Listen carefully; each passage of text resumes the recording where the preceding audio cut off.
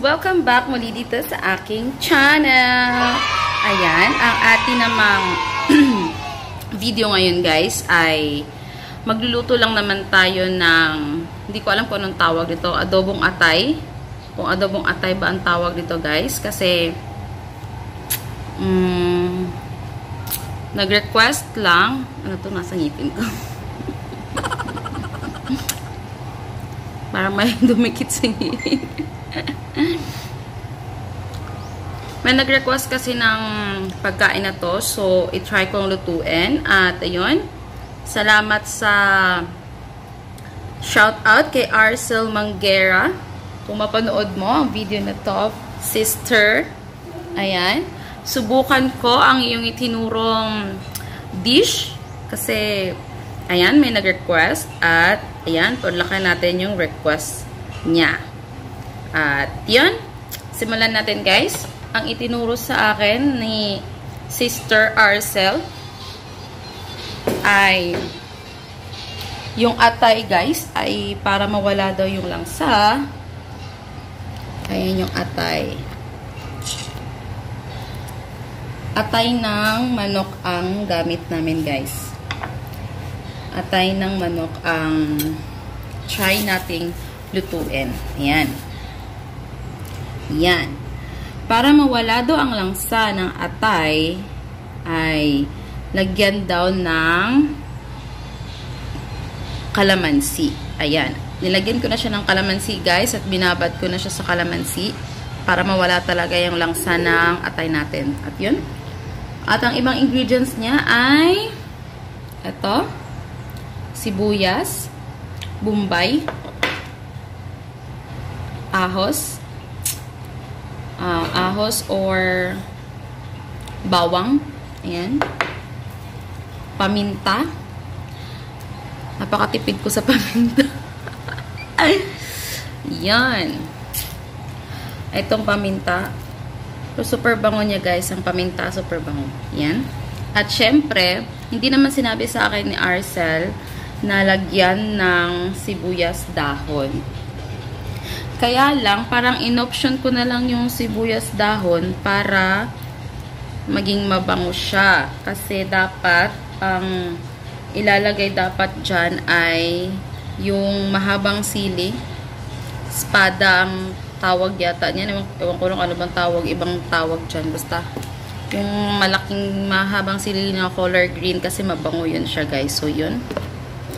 Dahil nga hindi ako nakabili at nakalimutan ko. So uh, sinubukan kong i-option ang sibuyas dahon.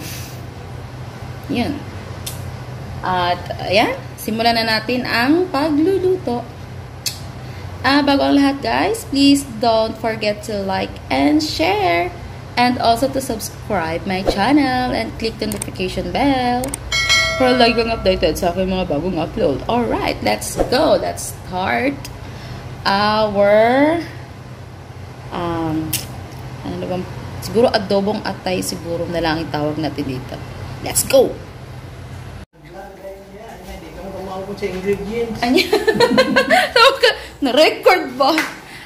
Yan guys, nakalimutan ko pala na may, ano pa pala siya, ah, uh, sa gulan daw siya o kanang boiled egg. Ayan. Nagluluto ako ng boiled egg ngayon. At hinihintay ko na maluto yung ating boiled egg. Okay? See you! Ayan, let's cook!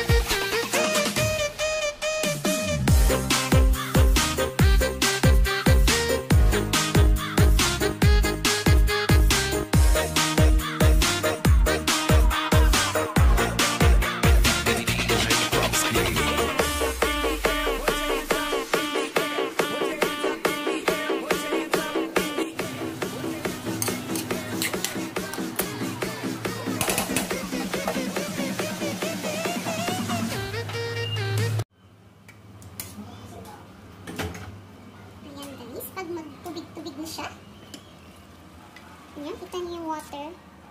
Ayan. Sabi ni Arsen, i-drain mo daw yan. Ibig sabihin, kunin mo yung water, then parang pikuhin mo sa ulit.